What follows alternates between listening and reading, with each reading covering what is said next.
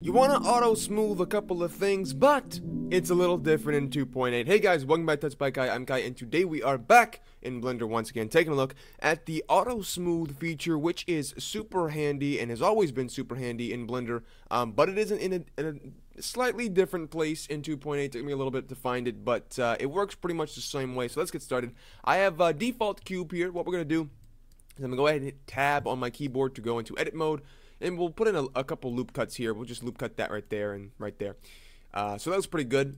Uh, we'll go to edge select mode and grab all these edges here. And the the what edge what what uh, auto smooth does is uh, it actually helps you be able to smooth things without losing edges, which I'll explain a little bit better in, in a second. So we've added a couple edges and we've scaled them inwards. Now we have this weird like thick shuriken looking thing. You can see we we do have edges here. They are being uh, held up and they are very sharp and very clean. But I want to turn on smooth shading here on object shade smooth. But you can see as soon as I do that, you know, we we've lost all these edges. There's no longer any edges here. It's all smooth and you can't tell where anything uh, starts or stops. So the way we fix this is we go down to this tab right here, which is the object data tab. We'll go to normals, and then we can go to auto smooth.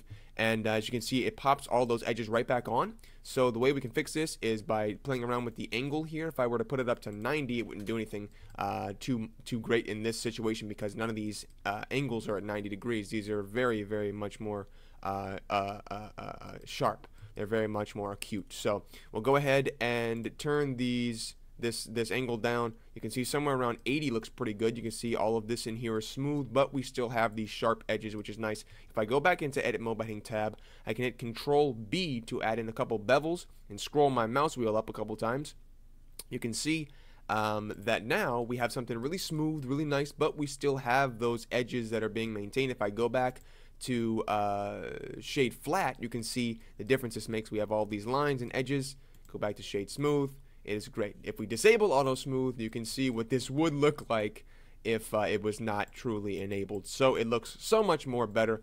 I uh, hope you guys enjoyed this quick tutorial of uh, Auto Smooth in 2.8. They did change it. It was uh, in a different, a little bit of a different place in uh, the other versions of Blender. But that's it for today's tutorial. Hope you guys enjoyed it. Hope it helped you. I'll see you guys in the next tutorial. But until then, bye bye.